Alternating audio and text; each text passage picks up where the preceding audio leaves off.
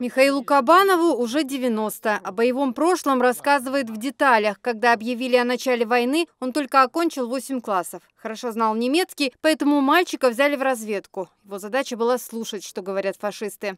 Только слушать, нигде вида не показывать, что я понимаю по-немецки. И не просто там среди солдат слушать, а именно проникать вот именно в этот штаб армии. В 43-м Михаилу Ивановичу исполнилось 18. Когда пришла повестка, пошел служить уже по призыву. Сначала в пехоте, потом стал военным автомобилистом. В неполные 20 своими глазами увидел, что такое Освенцим. Участвовал в освобождении лагеря. Привозили к этому лагерю эшелонами людей ну, в таких грузовых вагонах. Размещали в одноэтажных зданиях по 300 человек.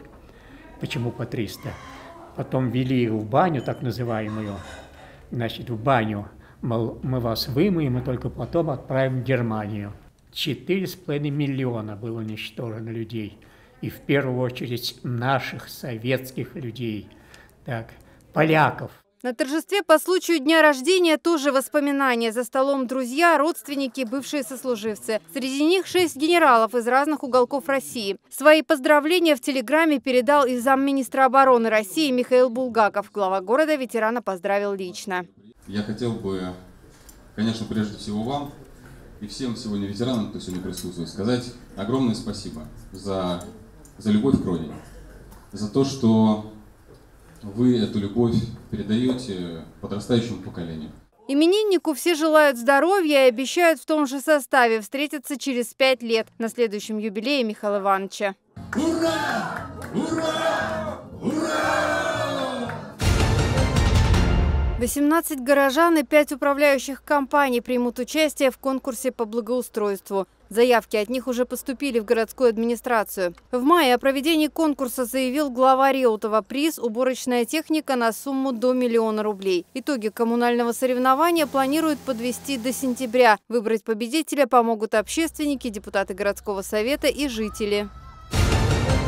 Рассказывайте, как самочувствие? Операция на левом колене была всего три дня назад. У Надежды Лукашенко поврежден миниск. Теперь долгая реабилитация. Так бывает обычно, но пациентки предлагают другой вариант. Я вам предлагаю сегодня сделать инъекцию, про которую мы говорили. Это плазма, обогащенная тромбоцитами, для того, чтобы простимулировать процессы заживления в коленном суставе. Для инъекции используют собственный материал пациента. Берут кровь из вены, на специальном аппарате выделяют из нее тромбоциты. Для чего нужно центрифугирование? Для того, чтобы отделить как раз-таки э, тромбоциты, те необходимые клетки, которые участвуют в процессе регенерации. Инъекцию готовят за 10 минут. Потом тромбоциты и плазму набирают в шприц и колют в сустав. По словам пациента, укол не болезненный, а главное, уже через несколько минут можно ходить. Раньше она мне вообще отличалась от второй потому что не могла ровно лежать. Вот. А сейчас ровненько все стало лежать. И ходить стало легче намного. Этот метод опробован в передовых клиниках мира, применяют в столичных больницах, а теперь есть и в Реутове. Если э, говорить только про травматологию и ортопедию, это повреждения острые мышц, связок, сухожилий. Э, соответственно, острые разрывы, повреждения э, сухожилий на фоне спортивных травм. Активно используется метод в спортивной медицине. Услуга не бесплатная, ее пока нет в списке обязательного медицинского страхования. И все же новой методикой уже воспользовались 10 пациентов.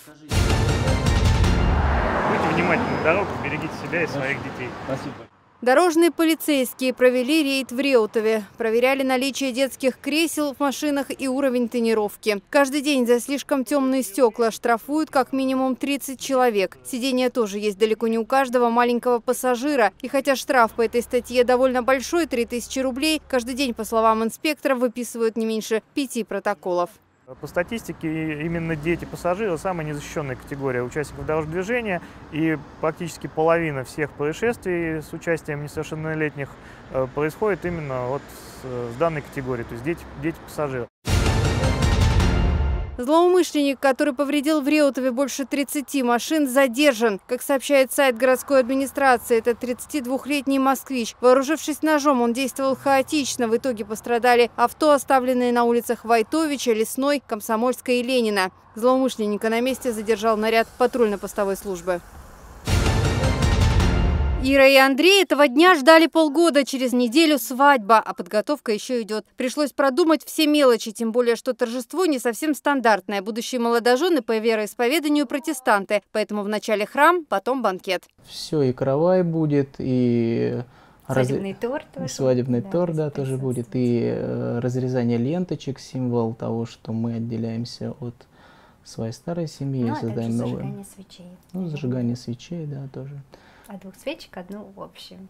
Костюм для жениха выбрали быстро. Андрей предпочитает классику и обязательно галстук. А вот от выбора платьев для невесты можно было голову сломать. Ну, собственно, вот у нас есть да, платьишко.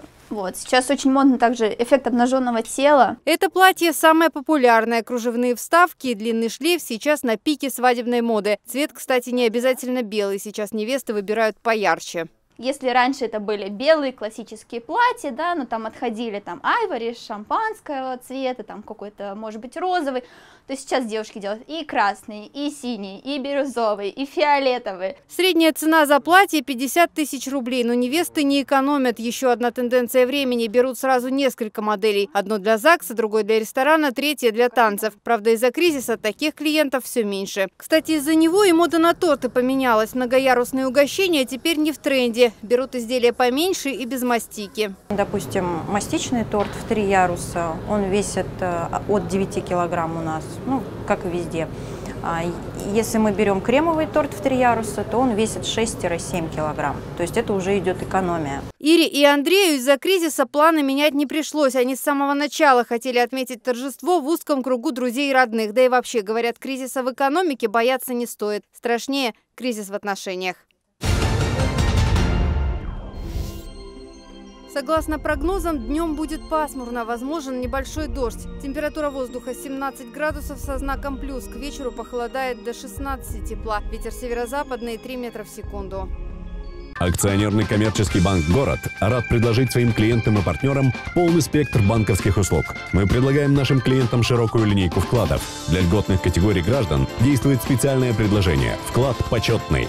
Банк «Город» – это высокий процент и неизменно высокая надежность. Индивидуальный подход каждому клиенту гарантирован. Найти нас можно по адресу улица Ашхабадская, дом 27, корпус 1, помещение 5.